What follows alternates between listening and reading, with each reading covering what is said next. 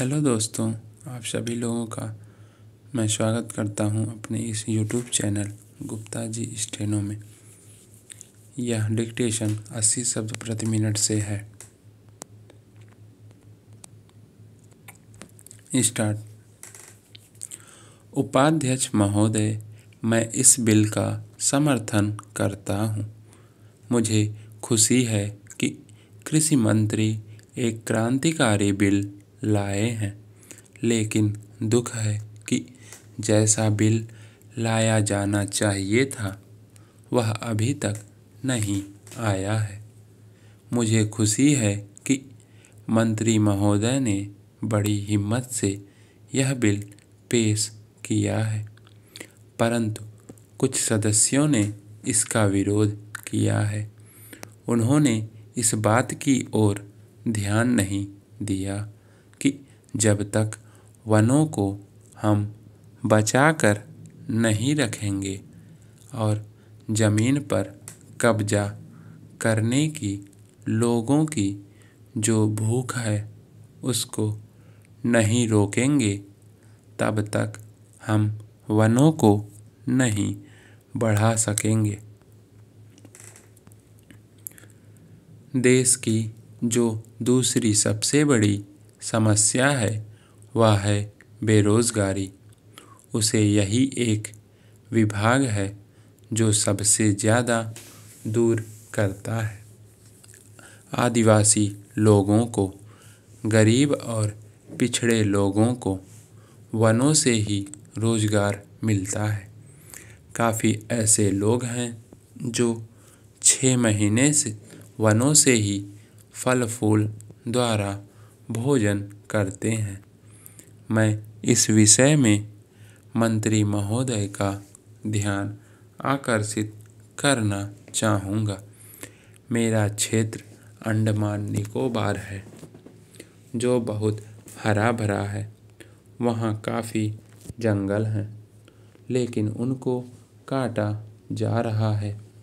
अगर इसको सही ढंग से रोकेंगे नहीं तो एक दिन ऐसा आएगा जब वर्षा भी वहाँ नहीं होगी। मैंने प्रधानमंत्री जी को इस विषय में जुलाई मास में एक पत्र लिखा था। उसमें मैंने कहा था कि हमारे यहाँ जंगलों की कुछ व्यवस्था की जाए। इसके बाद एक समिति बनी। जिसको वहाँ जाकर सारी चीज़ों को देखना था। उसकी सिफारिश के अनुसार वहाँ काम होना था। इस समिति को बने हुए छः सात महीने हो गए हैं, लेकिन यह समिति आज तक वहाँ नहीं जा सकी है। झगड़ा क्या है? झगड़ा यह है कि कनिष्ठ अधिकारी को इस समिति का अध्यक्ष बना दिया गया है। जो वरिष्ठ अधिकारी हैं, वे कहते हैं कि हम इसके नीचे कैसे काम करेंगे, उनके साथ कैसे जाएँगे। इस वास्ते यह जो चीज़ है, इसकी तरफ़ आपका ध्यान जल्दी से जल्दी जाना चाहिए और आपको इसको देखना चाहिए। हमारी जो अर्थनीति है, वह वनों पर आधारित है।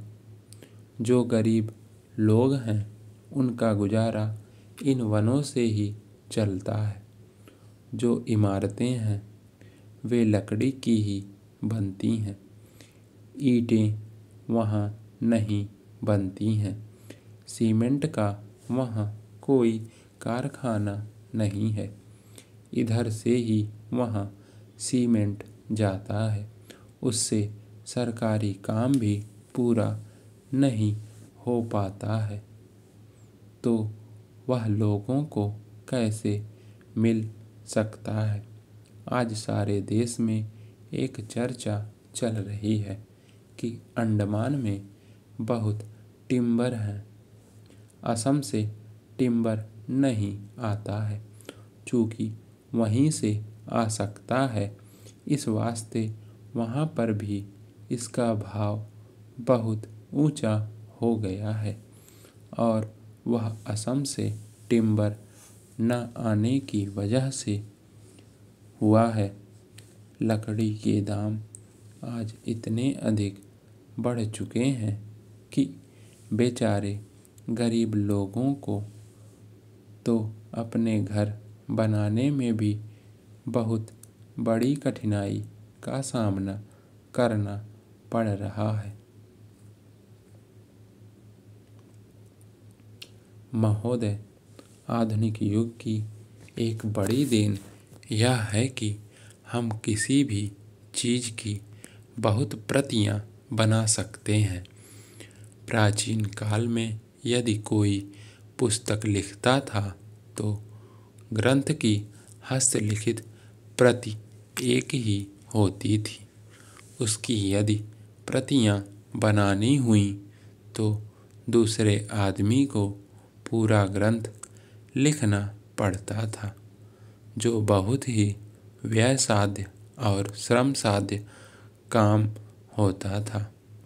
आज किसी ग्रंथ या वस्तु की प्रतियाँ केवल मुद्रणालय में ही नहीं, बल्कि अन्य प्रकार से भी बन सकती हैं। एक का अनेक बना देना आज एक खेल सा हो गया है। यदि किसी अच्छे नाटककार ने मंच पर अच्छा खेल दिखलाया तो उसकी बड़ी ख्याति हुआ करती थी। पर वह नाटककार एक ही स्थान पर अपना खेल दिखला सकता था और यह भी नहीं कहा जा सकता कि एक ही खेल को यदि वह फिर से दिखलाना चाहे तो उसे उतनी ही कुशलता से दिखला सकेगा। जितनी कुशलता से उसने पहली बार दिखलाया था।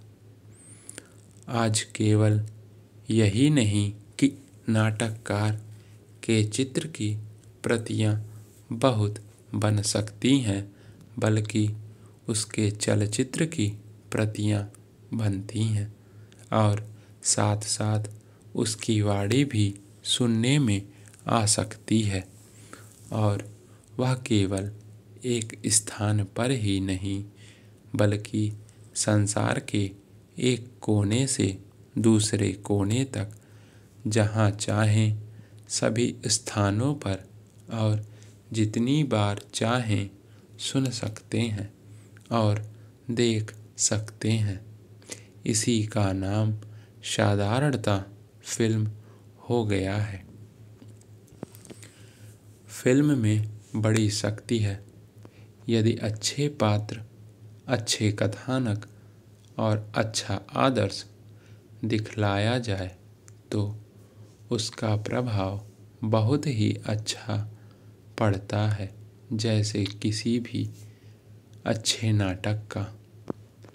पर वहाँ भी यदि कथानक दूषित हो, पात्र चरित्रवान ना हो और गतिविधि उनकी ऐसी हो जो समाज अथवा व्यक्ति को ऊपर उठाने के बदले नीचे ले जाने वाली हो तो उसका प्रभाव उतना ही बुरा पड़ता है।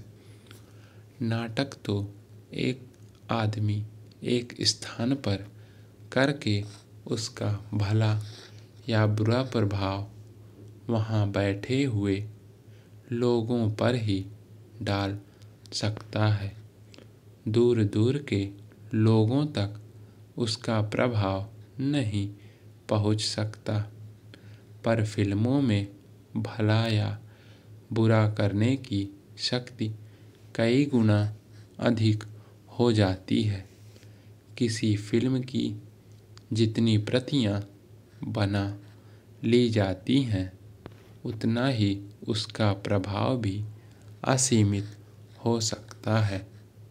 इसलिए यह आवश्यक हो गया है कि जिस चीज़ में इतनी शक्ति हो, उसका उपयोग इस प्रकार से किया जाए कि उससे अच्छे से अच्छा फल मिले और उसमें किसी प्रकार की बुराई न आने पाए समाप्त।